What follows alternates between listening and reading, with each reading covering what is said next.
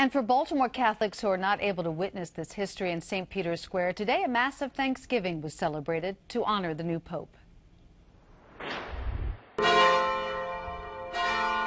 It was Baltimore's turn to hold a Mass of Thanksgiving, a recognition from the oldest diocese in the nation that history is unfolding for the Catholic Church.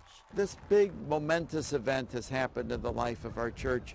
And so our, our instinct is to gather together for Mass, for the Eucharist, unite with each other in the Lord and simply say to the Father, thank you for loving your church. Thank you for giving us the gift of this Holy Father. Uh, and thank you for the joy of being believers. A large crowd of worshipers gathered inside the Cathedral of Mary Our Queen to offer prayers for the 266th successor of St. Peter, a crowd that included Maryland Governor Martin O'Malley.